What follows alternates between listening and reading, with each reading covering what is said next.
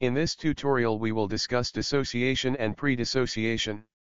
When excitation energy is large enough, the energy may lead to the dissociation of molecule into individual atom. The onset of dissociation in absorption spectrum can be detected by disappearance of vibrational band structure and appearance of continuous line spectra. The continuous line spectra are also called as continuum. The region of spectrum on which fine vibrational band structure disappears and continuous spectrum just appears is called as dissociation limit that is the point from which continuum starts and we can calculate the dissociation energy of molecule.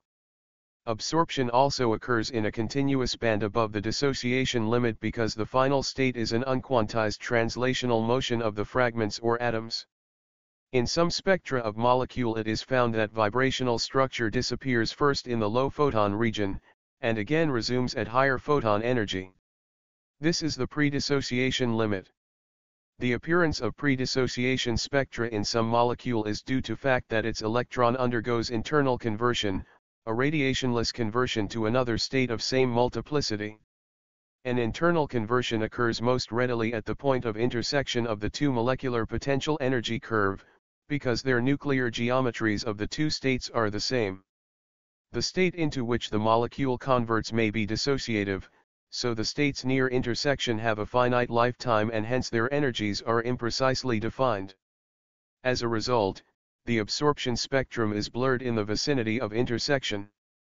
When the incoming photon brings enough energy to excite the molecule to a vibrational level high above the intersection, the internal conversion does not occur that means the nuclei are unlikely to have the same geometry. Consequently, the levels resume their well-defined vibrational character with correspondingly well-defined energies and the line structure resumes on the high-frequency side of blurred region. This much for today, Thanks for watching, bye bye, see you.